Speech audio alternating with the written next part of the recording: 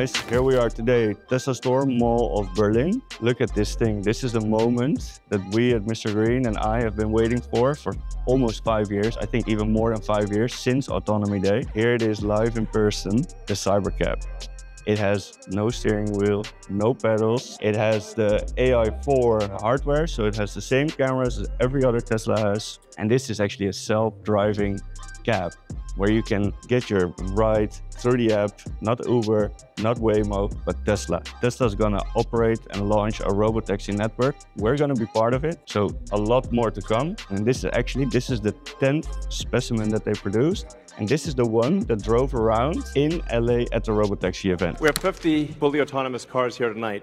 Uh, uh, you'll, you'll be able to take a ride in the Cybercab. There's no steering wheel or pedals, so I hope this goes well. We'll find out.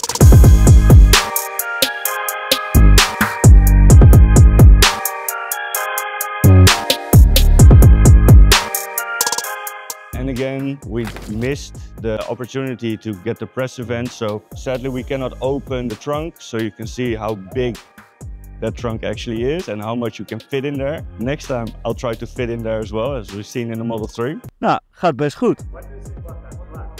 Do you see this plug? We got this insane plug that's not as thick as the one we saw in Hanover. The thickness of this cable. But the cool thing about this thing is like the back is Cybertruck design.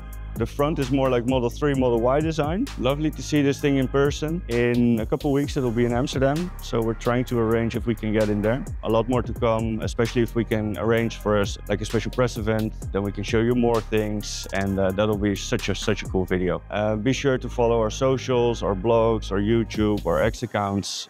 See ya.